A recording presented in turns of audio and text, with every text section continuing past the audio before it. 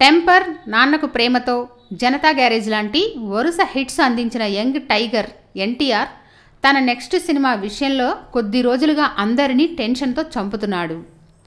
Janata garage NTR కెరీర్లోనే అత్యధికంగా ఎనభై మూడు కోట్ల షేర్ రాబట్టింది. దీంతో ఎన్టీఆర్ తన నెక్స్ట్ సినిమా స్టోరీ డైరెక్టర్ విషయంలో ఓ అంచనాకు రాలేకపోతున్నాడు. చాలామంది దర్శకులు చెప్పిన కథలు విన్నా ఎట్టకేలకు పవర్ సర్దార్ సినిమాల డైరెక్టర్ కెఎస్ రవీంద్ర బాబీ చెప్పిన కథకు ఓకే చెప్పినట్టు తెలుస్తోంది. పవర్ సినిమాతో దర్శకుడిగా మారిన బాబీ తర్వాత పవన్ కళ్యాణ్ హీరోగా తెరకెక్కించిన సర్దార్ గబ్బర్ సింగ్ సినిమాతో నిరాశపరిచాడు.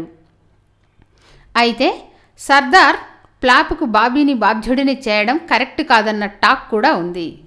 స్వతహాగా స్టోరీ రైటర్ అయిన బాబీ ఎన్టీఆర్ కోసం ఓ అదిరిపోయే కమర్షియల్ యాక్షన్ ఎంటర్టైనర్ స్టోరీని రెడీ చేశాడట. ఎన్టీఆర్ ఆర్ట్స్ పతాకంపై కళ్యాణ్ రామ్ నిర్మిస్తున్న ఈ సినిమా డిసెంబర్ తొమ్మిదిన పూజా కార్యక్రమాలతో ప్రారంభించనున్నారు. ఆ వెంటనే మూవీని సెట్స్ మీదకి తీసుకెళ్ళనున్నారు. ఇప్పటికే దీనికి సంబంధించిన ఏర్పాట్లు కూడా పూర్తయిపోయాయట.